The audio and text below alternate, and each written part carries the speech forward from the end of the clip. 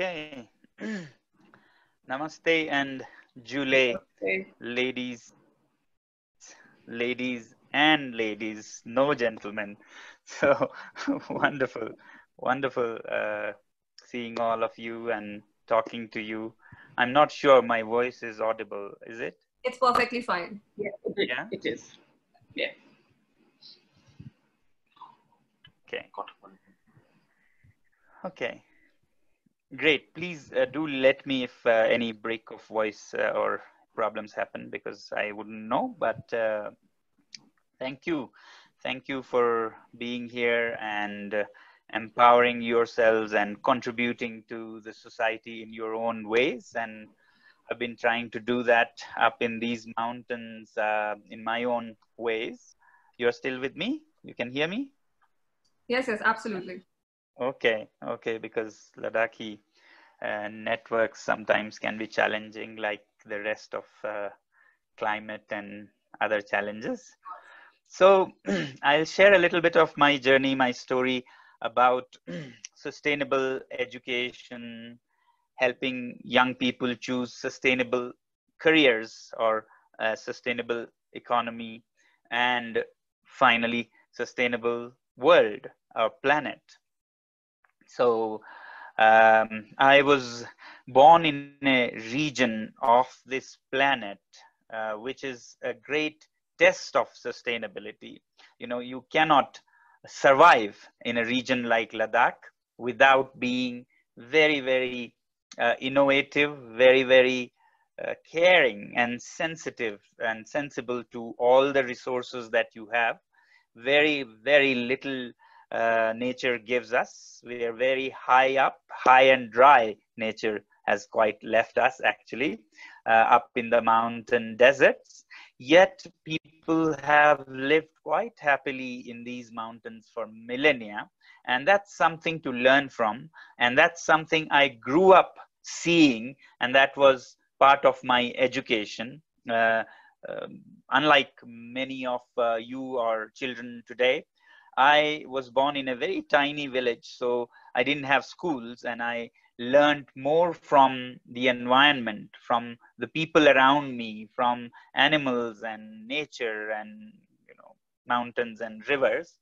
Um, so I grew up believing that uh, you do not not learn if you don't have schools what is really most important ingredient of education is your own curiosity.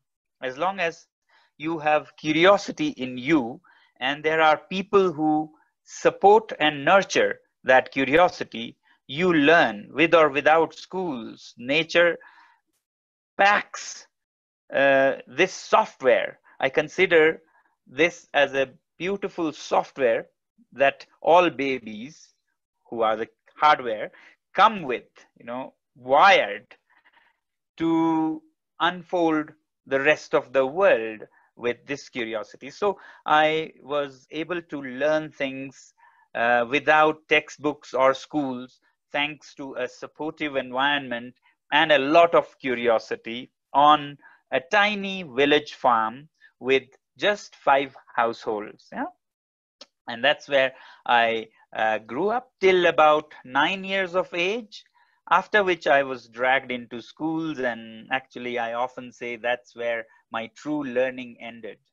Because schools, being schools, are full of rituals that you do with or without purpose and make children, you know, stand on the back bench if they are not uh, very clever or they do not look i was unfortunately one of them. I didn't speak any hindi or english when i was taken to a school from ladakh uh, and they didn't speak my language. I didn't speak their language. They thought i was mentally retarded and they would put me on the back benches and um, i would wonder how my teacher thinks that i would learn if i'm weak i would learn more on the back benches than in the front bench or in her lap, which is where I would put somebody who needs help. So, but the system was such that I was, I spent more time maybe outside the classroom door um, than inside because I wouldn't do homework and I would be judged as a very bad student. But uh, all said and done today, I still get to say I was an outstanding student huh? because I spent such time outside the door. Um, um, I had a great uh, feeling for why the schools were like that, why children like me were made to feel so small and so uh, low about myself. These helped me later to chart out a way of helping other students from facing the same uh, problems. So I, like all children, um, had this uh, capacity to quickly catch up. Uh, so I did finally catch up with others and did quite well in school when I met the right kinds of teachers and right kind of support uh, when I changed a school. But I won't go into details today of that.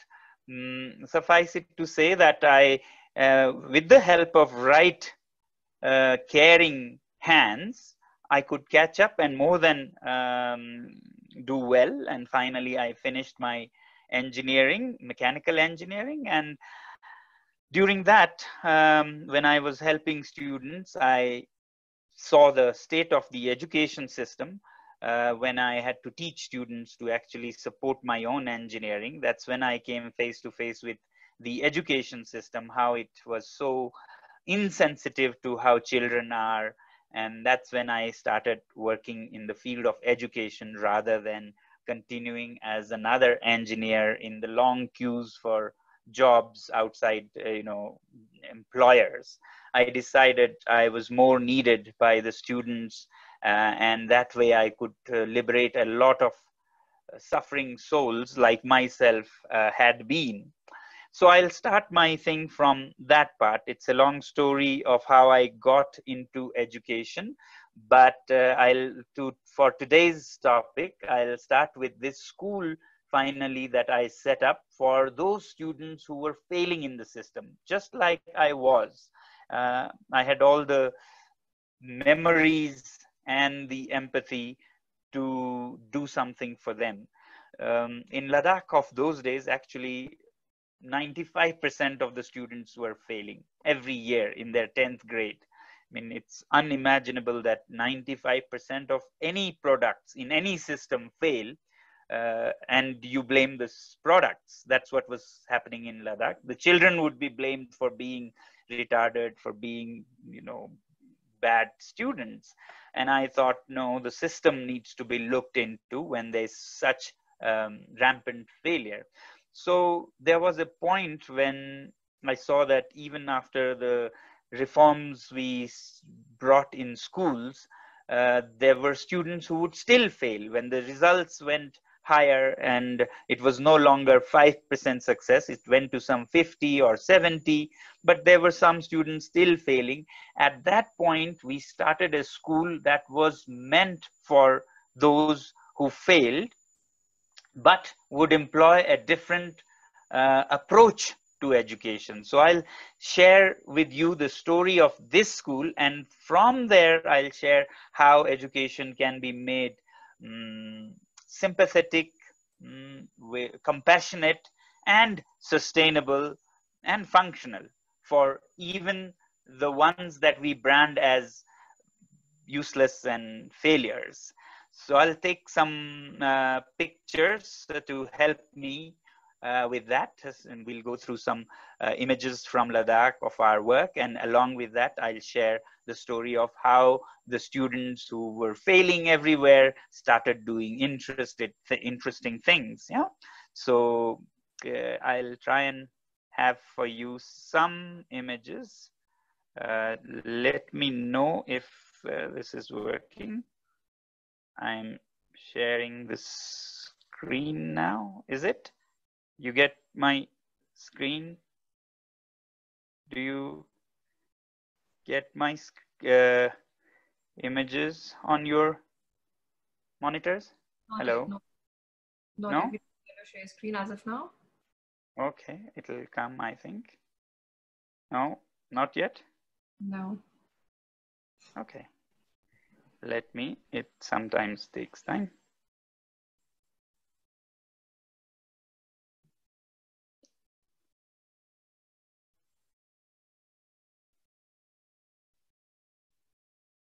Okay. Hmm.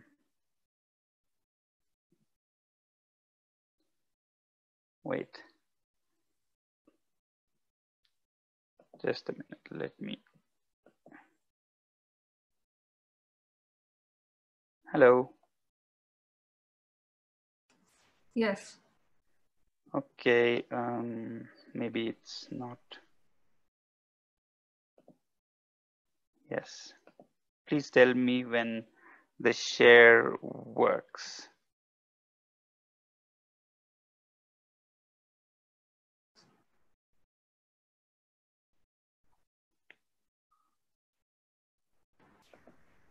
No? No, no. Share, oops. Normally it works, I'm not sure. Hmm. Okay, if it doesn't work in a min, uh, half a minute or so, I'll picture, I'll paint the pictures with words then, uh, which are not very bad either. a way of. Uh, uh,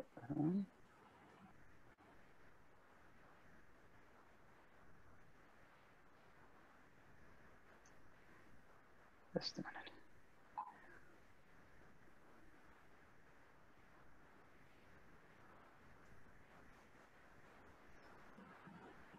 If it's okay with you, we can go ahead um, without the slides if possible. Yeah, I will. If it doesn't still share. Okay. There's some problem with the screen share, it seems. No? No. Okay.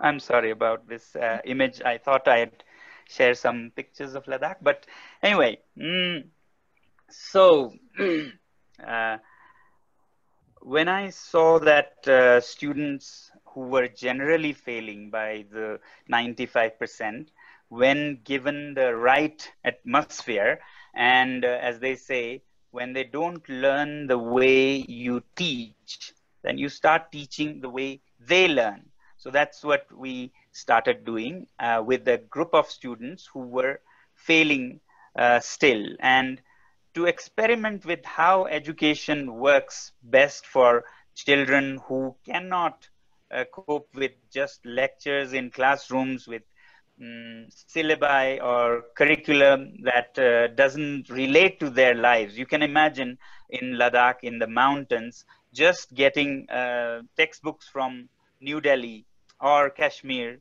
uh, didn't make any sense for the children, you know, giving examples of elephants and tigers to children who have never ever seen any such things. It doesn't work. So we started making textbooks for uh, Ladakh so that they can understand it more. But textbooks and uh, curriculum was not enough. That's when we started building a special school. Now, what our philosophy was that children need to experience hands on rather than just read about things we human beings, I learned uh, through experience that our young ones are more designed and wired to learn from experience rather than from textbooks, written words. And this is true for the millennia that human species has been on this planet. Our ancestors, long, long ago, they were not reading about things. They were actually uh, in the field, in the wild, as hunter gatherers. They were out in the field doing things and uh, not reading about catching their prey and so on. Simil- similarly, as settled farmers, when farming started, they were again, um, you know, uh, out there in action and not sitting listening to lectures.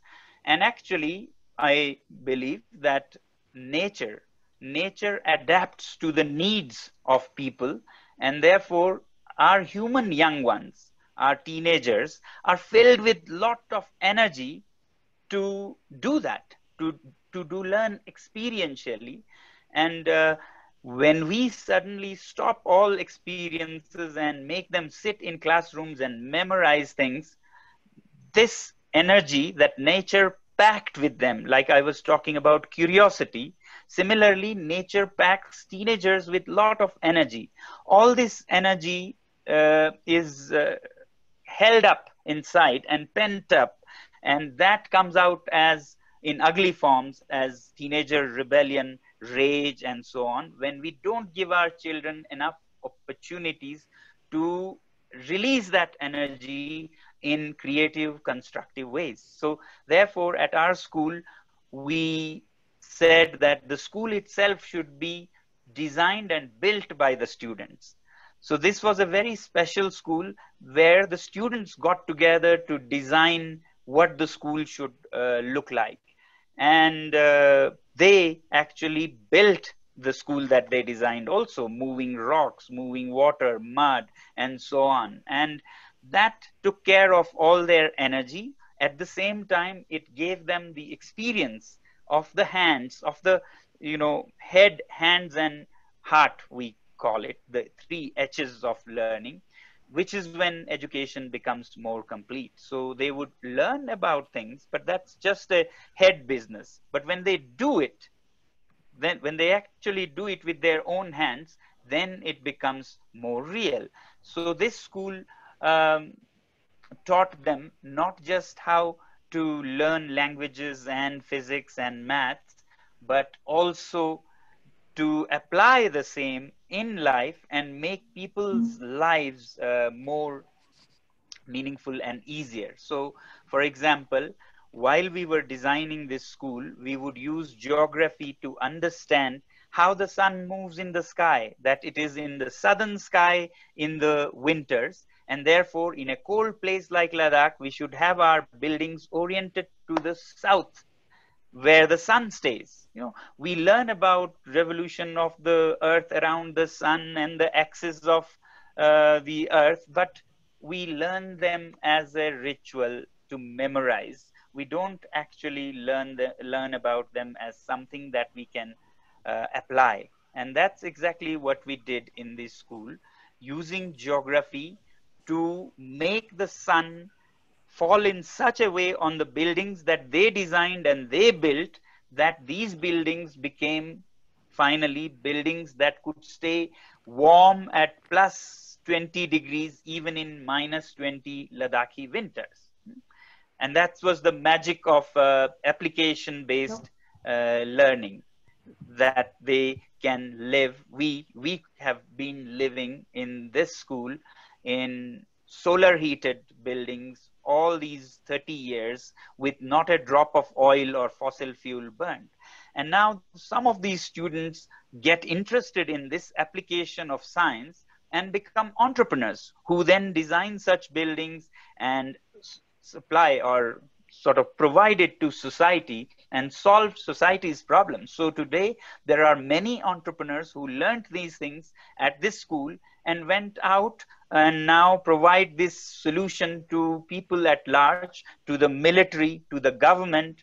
And in a cold place like Ladakh, environmentally speaking, it is challenging to keep yourself warm in the winters. You, you burn oil, you burn wood, uh, which is very costly. At the same time, it is costly environmentally also because there is so much emission, so much pollution. Yet the sun that shines above everyone's head with no price, you know, it's free for all. And to master the science of uh, the material that is most abundant right under your feet, like mud, you can then build with mud, natural material, and heat with sun, a natural energy available abundantly for all rich and poor, you know, from any part of the world. There's nobody so poor they cannot afford the earth under their feet or sun over their head. So this is how we learned that education can be an empowering experience which may, helps you live happily in the setting that you are. Now, in most of the hot places, you will need to learn the art and craft of keeping cool in summers. But for Ladakh, it is survival uh, itself in winters. So solving such problems using your education makes it alive, makes it come alive for the children because once they apply and they live in a building themselves, they cannot forget for their lives. And some of these students become so interested in such crafts that they choose it as a career. So many of these students become entrepreneurs, like many of you, but in um, fields that people around you need and yet it solves those uh, needs of the people without any harm to environment which brings us to sustainable solutions or uh, economics you know where you have uh, solutions that are not more complicated than the problem itself. Uh, today in the name of uh, commerce and business we often come up with the solutions that actually cause more problems than the problem caused yeah so uh, that's what our uh, aim has been. Similarly, uh, not just with uh, the cold of the winter, like you just mentioned, uh, water in a desert environment. Our science and mathematics and other subjects should at least uh, address some of these challenges rather than just being a ritual to get a degree or a certificate of 12th uh, grade or graduation, which doesn't help anybody much except to get a job. And the problem with our education system today is that we tend to give the same recipe, same solution, no matter where you come from, no matter what your challenges are.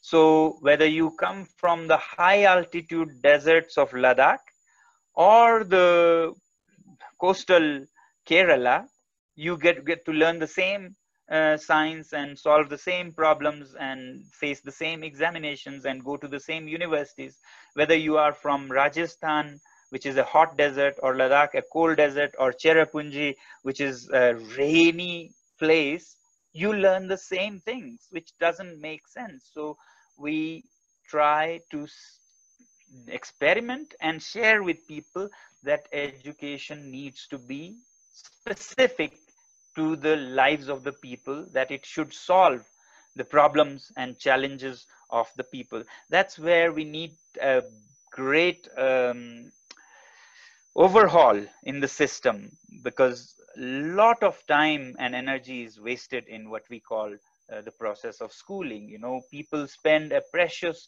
quarter of their lives in the name of education, and yet they do not much more than a ritual that doesn't really solve anybody's real problems. Just the exercise, the drill, the ritual, and then a certificate.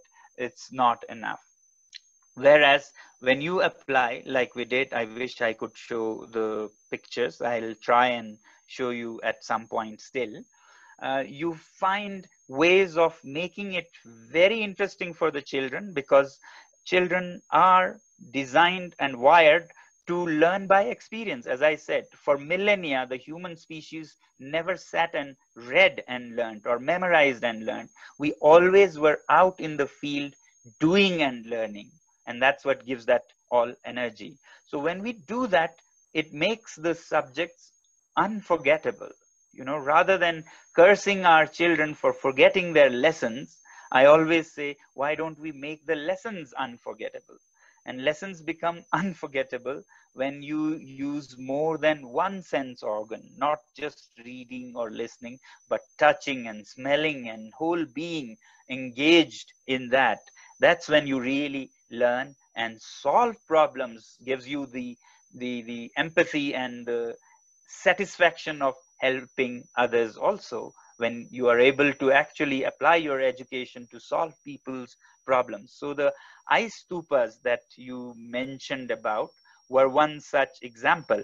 In um, geometry, we learn lots of theories. One of them is that certain shapes have a low surface area and high volume. We just memorize it. Okay, spheres have lowest, uh, lowest surface area for the volume.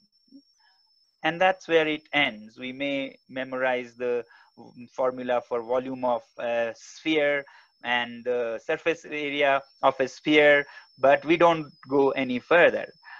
Now, how we got to apply these learnings in Ladakh was when we saw that people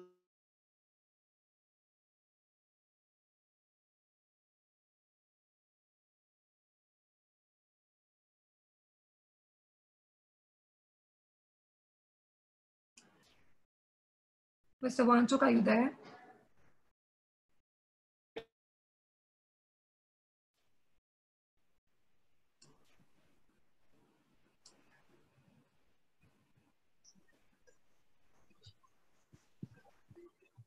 I think we've lost them. IT team, can you please check? Now, Moonland may sound very glam. Some connection. Uh, yeah.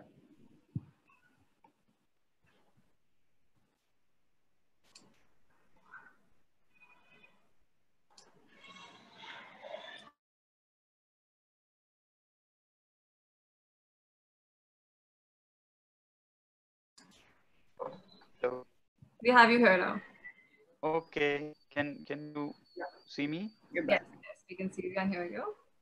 Okay, sorry about this. If there's some challenge I'm trying to solve, you can. So uh, I was just saying that the only reason people can uh, survive in Ladakh is uh, because of this uh, um, glaciers that we have. Can you by any chance see my screen now? You can absolutely No? see the share screen. Hmm? Yes, absolutely. We can see the pictures now, yes. Okay, so you can see the pictures. Yes, yes. Okay, okay, okay, okay, okay. So uh, let me check if it moves. Okay, okay. Uh, so this is the school where we started um, making experiments for children who had failed, you know, who were rejected by school and the system. Uh, we said, why don't we teach them the way they learn if they don't learn the way we teach? So this was a desert. This was the desert where we went with a batch of uh, some uh, 20 students who had failed and failed. And uh, this desert, we wanted to green and make a school, but make a school with the students, with the students themselves. And uh, it was an exercise together with the students to learn their uh, subjects through application to real life. And the first thing we did there was to create an image, um, imagination of what the school will be. So involving the students in imagining what they want. So this actually is from 1994, before anything happened on that desert, the imagination that children had in their minds of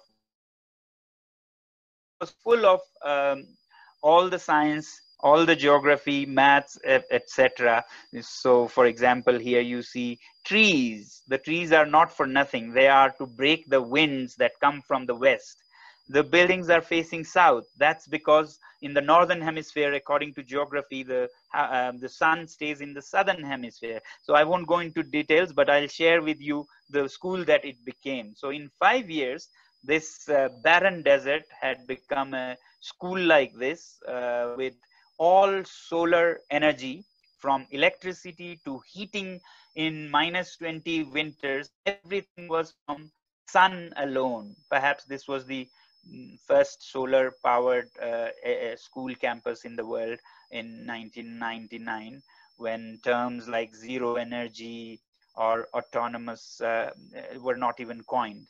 And this school was built with mud as i mentioned. And to give to learn experientially as i said the students were to run the school also not only design and build but also to run the school. That's when they develop the the nuances of how to manage things in life you know. We cannot lecture children into uh, being independent and uh, you know be becoming good managers of their own lives until they actually do it. So the school is run by the students themselves. So they run it like a little country with a little government the government is run for two months and every two months they change. They plan for their two months tenure and they execute and they report in the parliament and they get responsibilities which then make them uh, the people they are in future. Responsibilities are real like taking care of cows taking care of solar gadgets taking care of gardening taking care of power plants. But applying all the theory that you have in your textbooks. Applying, for example, germ theory or microbial theory in making jam out of apricots and thereby prolonging the life of shelf life of apricots from two weeks to two years. Now that's application of the science. That then becomes career for some. Sustainable economies develop from sustainable education when young people who learn it at school fall in love with some of these things and want to make it their career. So there are students who then started uh, jam and pulp making industry that supplies to many other industries and around the country. Similarly, others who would take care of visitors uh, opened up uh, travel companies very innovative ones. I won't go into details, but uh, physics, physics. In the chapter of heat, we learn about conduction, convection, radiation, but we just memorize without understanding much. And if you really put them to use, they can make magic happen. So here in the corner, you are seeing how convection, conduction, uh, radiation happens. So the hot air from this greenhouse as you see on the building on the building a transparent sheet. Uh, the hot air circulates in the building because the sun heats the greenhouse and the air gets hot and convection in science teaches us that hot air rises. So it rises and goes into the upper floor gives its heat to the walls becomes cooler and therefore denser comes down and is then pushed into the greenhouse again by the flow that is convection. Convection can be of great help in life uh, for people who have to bear minus 20 winters. And together with conduction and radiation that happens at night, people can live happily in such buildings even if there's no heating at all. Um, now, I was talking about uh, mud, soil under our feet. Very natural, non-polluting, non-toxic, but we need to apply our science a little more than our ancestors did, and you can get amazing habitats or houses. So we learn also from our ancestors, from uh, what we see in our surroundings as forts and ruins. So at this school, we said, why only learn from textbooks and teachers? Why not learn from our ancestors from 1000 years ago? So this house, this building that you see, it's a fort in a village that was found to be 1500 years old. So we said, why not learn from them how to make buildings that are so long lasting? And that's when we started reverse engineering and seeing what did they do so right? Because not every building lasts this long uh, not at all the earth buildings. And we would then analyze as you can see here lab analyze what went in these buildings and then mix it or blend it with the science with that you teach in classrooms. And then the students start doing it themselves what our ancestors did so well uh, over a thousand years ago. And we lost the art and craft thanks to all these Western uh, concepts of buildings and materials like cement, concrete, which are a disaster in a cold place like Ladakh, so far away, so polluting, so hard to transport. And yet, this material that our ancestors used can be rediscovered using the science uh, that we do. And then some of these students fall in love with this and become professionals uh, who make it a entrepreneurship, a startup in earth buildings anybody can make a phone call and you get a design for a passive solar heated fully solar heated zero carbon emission zero pollution uh, building like this this one uh, you know is made for clients and does not need any heating at Um, and inside, they need not be very unpleasant either. Just because they are built of earth, which is an ancient material, it can be very beautiful and tasteful also. So this kind of uh, education and the entrepreneurship or enterprise that it leads to among the students can actually solve problem like this this is in this image if you can see you can see the city of leh town of leh on a winter evening i'm sorry there's some uh, something drawing on its own getting creative uh, with that red line that's not supposed to be so you can see the city all covered in smoke do you see that that's thanks to burning fossil fuels and wood and so on to cope up with the cold winters. This is what people are doing uh, when they just imitate something from Delhi and build in Ladakh. They are not suitable for the uh, place here, for cold place, and then they have to burn five times more fuels to keep it warm and then make the city into a total mess like Delhi becomes nowadays in winter, so becomes Leh because of these heating uh, reasons in Ladakh. And a house like this has no emission whatsoever, a marvel of science and education in a way.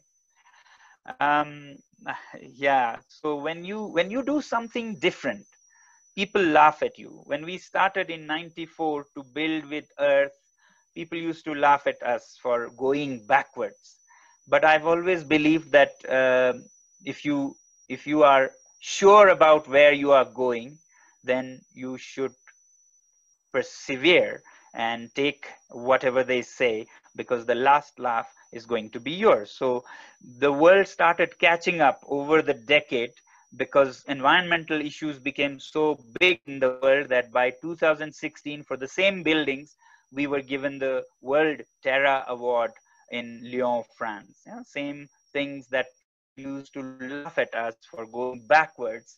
By this time, the world started realizing and uh, acknowledging our efforts.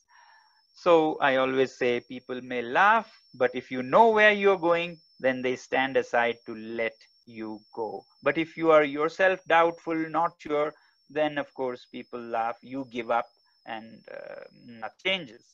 Similarly, for the energy systems that we started working with the, our students at this school, like cooking happens with solar energy at this school. All the cooking here happens with solar energy, just sun, no, no fire, just sun. Similarly, greenhouses give you fresh vegetables even in minus 20 winters. Lighting is all natural. Electricity is from sun. Um, water lifting is from sun. Even the cows on the right you can see live in solar heated cow sheds yeah? warm cow sheds.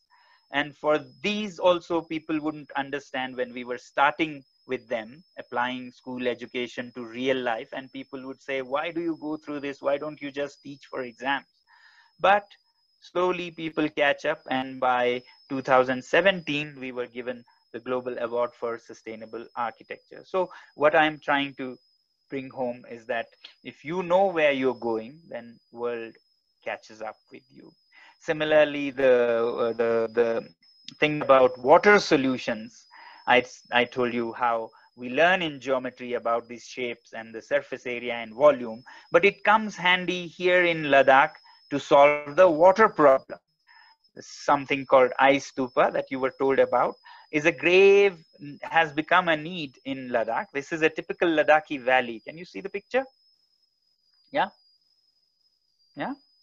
This is a typical Ladakhi village or a valley. You can see the image, I hope? Yes, yes, we are able to. Yeah? Yes, I'm, this is my last example of how uh, education done with a difference can help young people find their career and solve many people's problem and make the uh, world more sustainable yeah? so ladakhi people do not have many um, you know gadgets and assets like pumps and facilities like that but we often miss what we do have so in this village you can see all the farms barren this is early spring all the farms need water and there is only a trickle in the stream. Uh, at the time when people need water, there is not much water.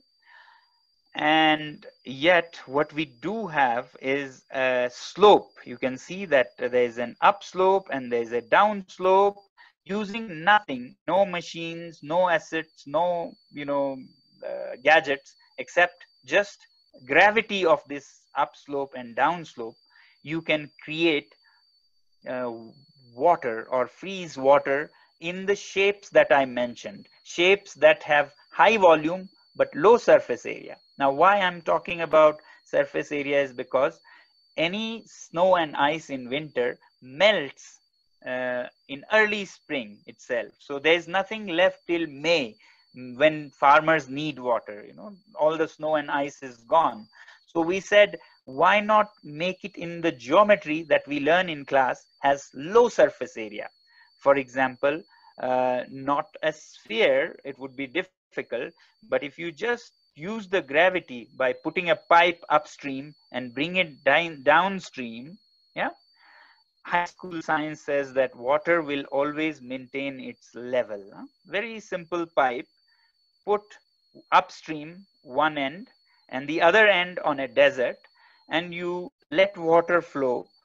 There is pressure in the pipe because high school science, water maintains its level. So there is pressure developing. You put a fountain and the water is squirted or splashed into the air that is minus 20.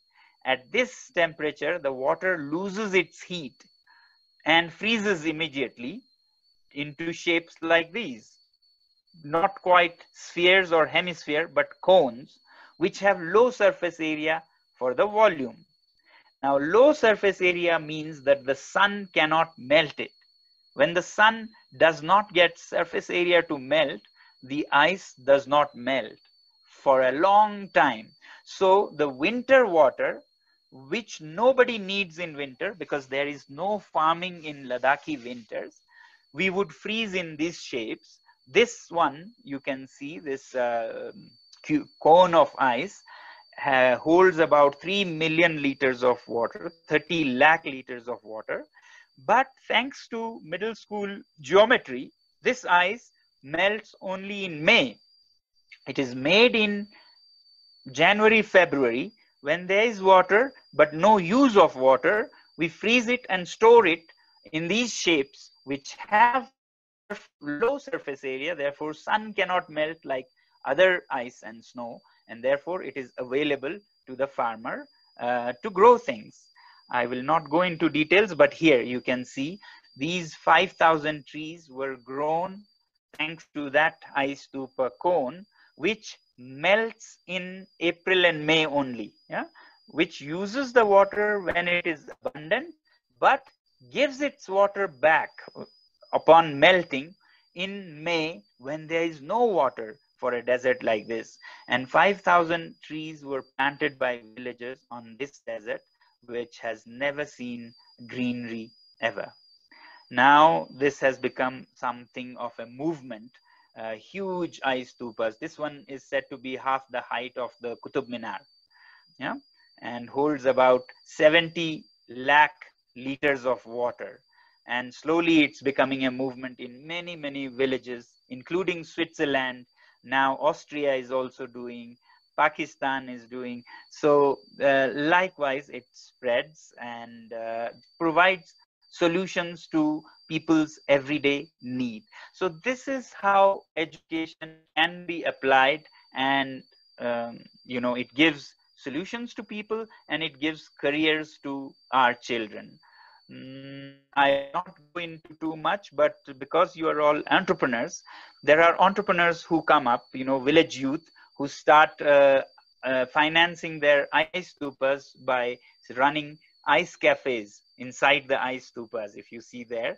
So some young, uh, innovative people started uh, cafes inside the ice stupas. Others started ice climbing, which is an adventure sport um, quite a fad in the West these days. So you climb uh, your own peaks in a way.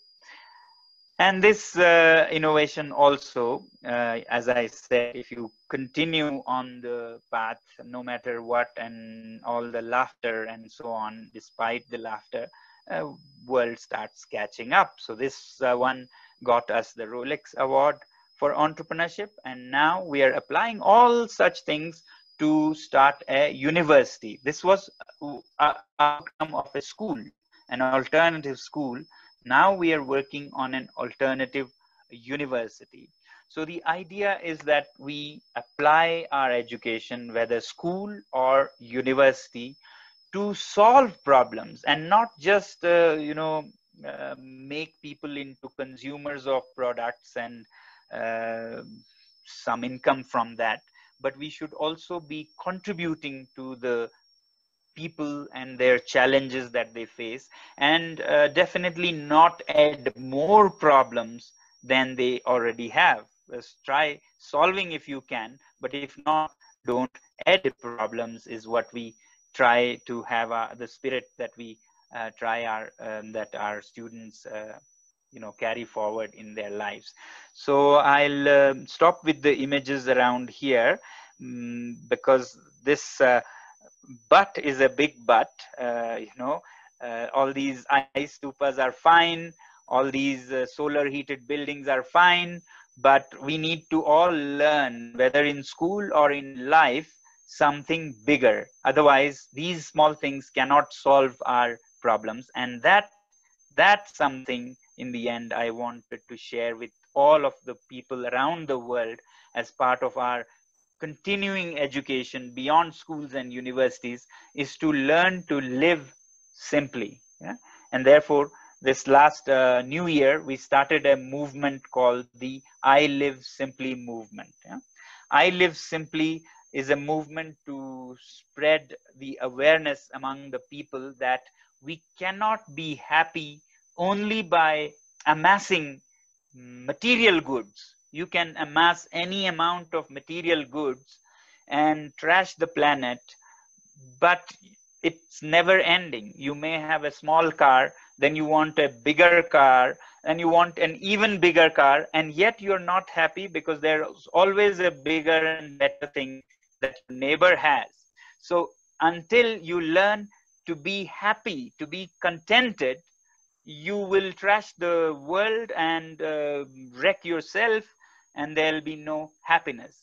So that's why we take inspiration from uh, Mahatma Gandhi saying that live simply so that others may simply live. Yeah? We want to learn to live simply so that the rest of the world simply lives. Or like Buddha said that for a human being, and I want to say this to entrepreneurs also, for an entrepreneur, it's a greater achievement to conquer a single desire than to fulfill 1000 desires. Right now, our planet is uh, dictated by this Western concept of just fulfilling desires, fulfilling desire after desire after desire with goods after goods after goods. And it's never ending. And in the process, our lakes are filled with trash, our ocean and the life there is gone and we are even not happy. So how about instead of trying to fulfill 1000 desires, we try to root out a desire and another and be happy with the minimal things that we could. And that might be the answer for the world to sustain so that we all do our businesses and yet not kill the very, you know, uh, planet that we are uh, supposed to live on. And therefore, uh, a sustainable planet by living simply could be an answer. And in this field, India has always led the world and should once again lead the world, not in fulfilling desires alone, but in conquering desires and overcoming desires to become happy with less of uh, material goods. I'll uh, stop here to take questions. Otherwise, it'll go on and on and uh, on. So it'll be much more interactive if you, yeah. Thank you so much. Thank you so much, Mr. Wangchuk, for sharing such enriching experiences and enlightening, enlightening with us all the valuable information. We have a lot of questions coming in. Um, if you permit, we'll take some. So let's begin with Ms. Jahnavi Phukan, our FLO National President, to take the first question. Mm-hmm. I would uh, actually like to give the opportunity to my fellow members and get back to Mr. Sonam in the end. Let the others have a chance to question him as well. So uh, can we have Saloni Mehta, our governing boarding member, please? Um, Mr. Wangchuk, can you please um, uh, stop your screen share for now? Okay, okay, okay, sure, sure. Yes. Yes. Perfect. Um, Saloni Mehta, can we have you please?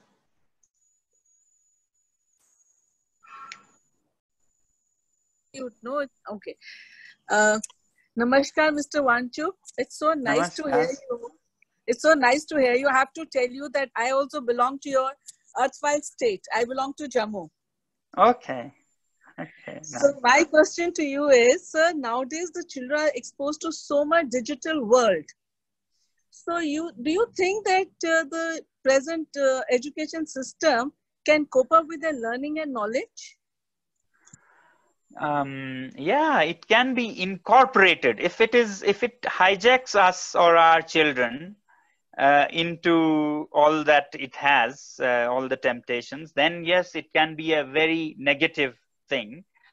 But if it is used as part of education, I think it can be an amazing improvement over the past. You know, in the past, our schools and classrooms have been uh, about one teacher uh, lecturing in front, and the teacher may not be the best teacher um, around in your town or in the world. But with digital medium, if put to right use, you can have the best people in the world on the subject talk to you directly which can be much better than a teacher, uh, a mediocre teacher standing in front of your class and uh, lecturing on something that he may not even be clear himself, which happens a lot in many schools. So I think that in future, uh, the first conceptual clarity will perhaps come from digital online resources resources. Schools may become the place where the children go to clarify things to share with other young people to apply on projects like i told you about our school. So yeah. schools will not be the place where you lecture and talk tell about things. They will become places where you experiment and explore. And digital medium can be an amazing initiator of the discussion and the learning process. But if you give a free license and uh, just hand you over your children to uh, the digital world, then it can be more dangerous than anything, I think. Thank you so much, sir. You made it so clear. Thank you. Thank you. Um, can you have another GB member of ours, Sangeeta Lalwani, please? Good evening, everyone. Good evening, Mr. Wangchuk. Mr. Wangchuk, I have two I have two questions for you. Mm-hmm. What is the maximum age that a student can apply in your university? Would you take an application from a middle-aged woman? oh, any any age is young if you have curiosity alive. Thank you, sir. Thank so you, it's, sir. It's you you can be old as uh, dying old at 10 if your curiosity is dead and you can be as young as you can, want to be if your curiosity is so i am sending in an application sir. Thank you so much. The university doesn't make any distinction about age. Yes. so another question i have for you. We've been speaking about a lot about we should avoid, ab- abandon chinese goods or ban chinese goods Mm-hmm. But in India, we have received more than 3,500 US million dollars in our startups like Flipkart and Zomato and Swiggy. What should we do about that, sir? So I generally say that take have time on your side. Don't do things. Don't think that you have to do everything in 24 hours. Yeah that's yes. when people start burning and breaking things which i don't think is the right use of the energy or uh, or the thought so have time on your side that's why i say uh, software you can uninstall in one week hardware like finished goods one year hardware with mixed you know raw materials parts and Okay. so on two years Yes. and products that involve investments you know Yes. Yes. three years Ah, in Oh, three okay. years so you Okay. give the companies time to adjust and adapt they can't change in two days or two months but Yes. they can adjust and adapt in three years if they don't people will express their choice for indian invested or friendly invested companies over these ones and they'll go out of business if things go well Yes. Thank you, sir. Thank you so much. Thank you We have Meenal Jain with us, please. Meenal, please go ahead with your question. Yeah, hi. Good evening, Mr. Wangchuk. It was such a pleasure to hear you. And And uh, I'm an architect by profession, and it's hello hello there's a break Meena, please unmute yourself. You have muted yourself. okay. Can you hear me now? Yes. Hello. yes Yes, we hear you now. Please go ahead. hi Meena. Yeah, hi, uh, hi, Mr. Wangchuk, and Yes. it was great hearing you. I'm myself an architect by profession, and you seem to be a better architect too, with all the beautiful designs you created in these school buildings and all. So I have two questions to you, for, for you. One is that in today's time, and how do you instill a sense of focus and achievement in today's generation, and invoke a part of patriotism or loyalty in them? And since you already, uh, one more question uh, following with this, since you already reinvented your system in Ladakh, how about going? i'm not able to hear that hello Please unmute yourself. I hello. Yes, we can hear you now. yes yes Yeah, should I repeat the questions? The second question, okay. uh no, no first first question of i got it yes shall i answer that Yeah, yeah, yeah. Then I'll ask the second question. yes so uh, the focus um, part um, we become out of focus and you know restless and short attention spans and things when we are bombarded with these uh, flittering uh, you know digital devices from early age. So i think that's a very bad thing for a child's mind. I would keep children away from uh, you know mass social media at young age and engage them more in things to do with their hands and fingers and so on.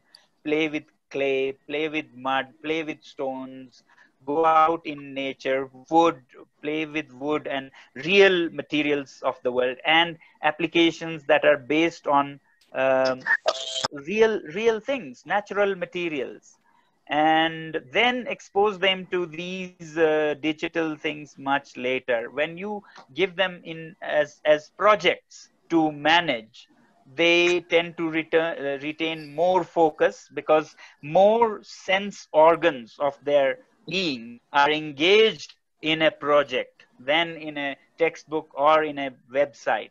So i always encourage that we make the uh, the foundation of our children with real natural materials and processes and only at later ages uh, expose them to these things that make it very difficult for them to focus on anything in life They need to gain their satisfaction also. Hmm? Not the children itself, the today's uh, younger generation too.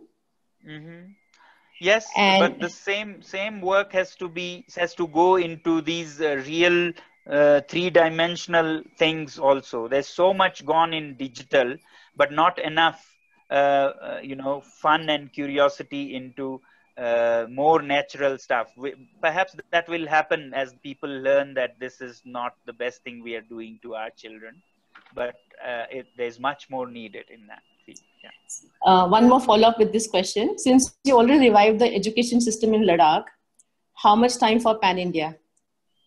Oh, I don't consider I don't consider it uh, me to be doing everywhere. It's a story of somebody from the place who knows the place finding solutions. So I only look forward to sharing our uh, experience and our mistakes with people like you who may want to do it for your own area. True. Thank you so much. Okay, so we have another question from a member. Um, what prompted you to call for a complete boycott of Chinese products, give up all Chinese software in a week and Chinese hardware in a year, and how has been the response of the same? Okay, the prompting thing was mainly this aggression on our border, number one. But aggressions have happened in the past also. What was different this time was the aggression was not just military. Uh, I could connect the dots and see that they're doing this to Vietnam, they're doing this to Taiwan and the US Navy in the South China Sea. So it is more political inside China and caused by economic uh, disturbances post COVID. So therefore our response should be economic and that can be best done by citizens. And therefore I called and said the military can will do their responding but citizens in this case have a great responsibility to respond uh, by boycotting Chinese goods. So that was the reason. And what was the second question? Uh, how has been the response?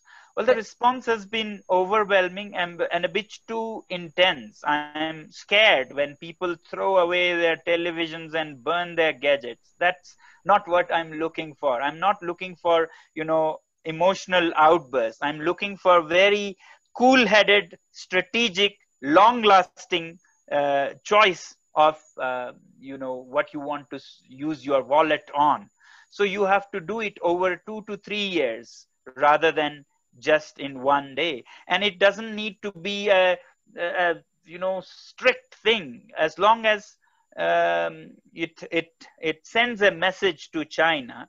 You don't have to hurt India. So if there is a company that uses some raw material for say a medicine which will hurt Indian patients, then continue, but have time on your side. In three years, you can be independent of it. So take time and keep it uh, for long term, not just uh, short term emotional outbursts. Yeah. We have another one. Do you think that most Indian educational institutions systematically kill creativity in students? And what is your standpoint on the concept of homeschooling? Hmm.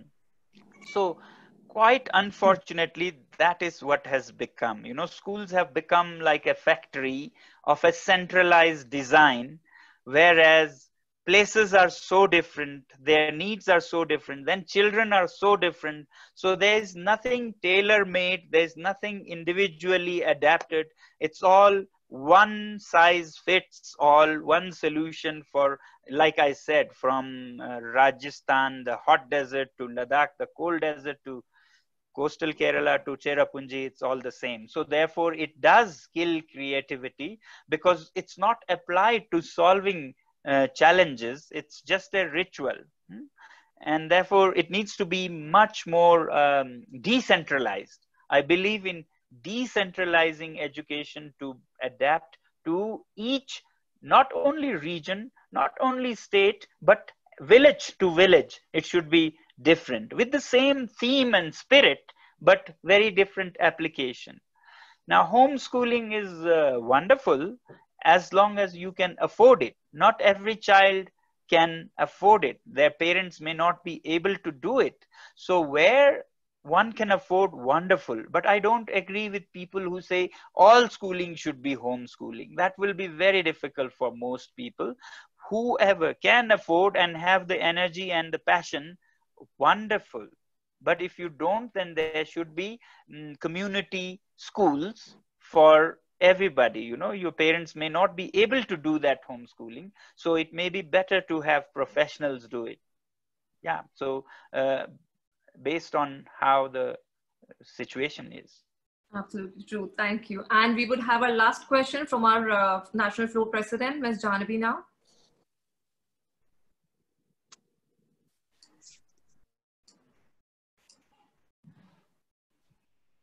It's been absolutely uh, you know, so insightful. There's so much of learning from you. That going back to nature, living simply, sustainability, that is the need for our planet.